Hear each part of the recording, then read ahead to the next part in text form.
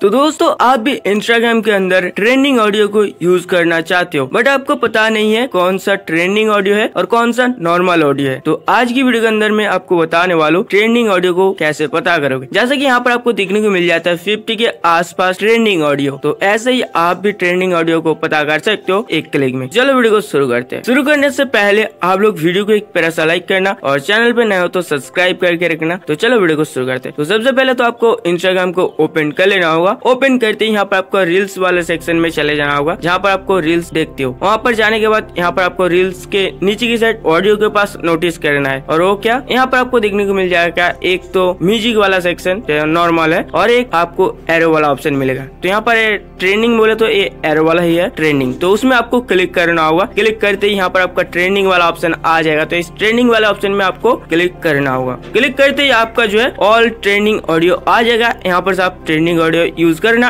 और आपका भी रील्स वायरल करना। तो थोड़ा सा भी जानकारी मिला तो एक प्यारा सा लाइक कर देना और चैनल को सब्सक्राइब करके रख लेना। तो चलो गाइस मिलते हैं नेक्स्ट वीडियो के अंदर। Bye guys